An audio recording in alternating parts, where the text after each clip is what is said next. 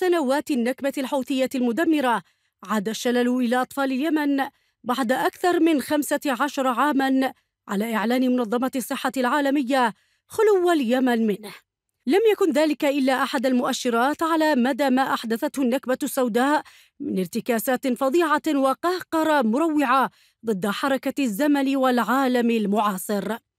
وتحت لافتة إسقاط جرعة الوقود التي كانت أقل من ألفي ريال إلى جرع حوثية بعشرات الآلاف المؤلفة التي ما زال اليمنيون في مناطق سيطرة الإرهاب يرزحون تحت أثقالها.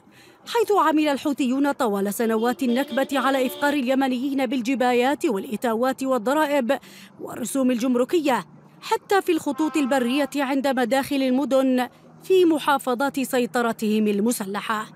بالإضافة إلى دفوعات المجاهيد الحربية القسرية وسندات تمويل الفعاليات الطائفية الغوغائية ونهب المساعدات الإغاثية وقطع المرتبات والاستحواذ على إيرادات ميناء الحديدة والحساب الخاص بمرتبات موظفي الدولة.